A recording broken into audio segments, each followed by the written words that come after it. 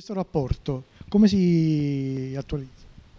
Allora, eh, il rapporto diciamo, tra cliente e provider viene regolato da delle contrattualistiche specifiche che seguono quelle che sono diciamo, le normative italiane ed europee con la stesura di agreement tra il cliente e il provider che poi vanno a mh, variare a seconda della tipologia di attività. Solitamente le aziende vengono in Mercurio per qualificarci come fornitori prima di affidarci eventualmente un contratto, valutare se il nostro sistema, il nostro modo di lavorare è in linea con le esigenze che l'azienda ha e poi successivamente stipulare un contratto con un accordo specifico sia di carattere commerciale ma in particolar modo di ehm, tipo diciamo regolatorio con dei te capitolati tecnici che vanno a regolamentare nello specifico l'attività che poi viene assegnata e diciamo commissionata a Mercurio.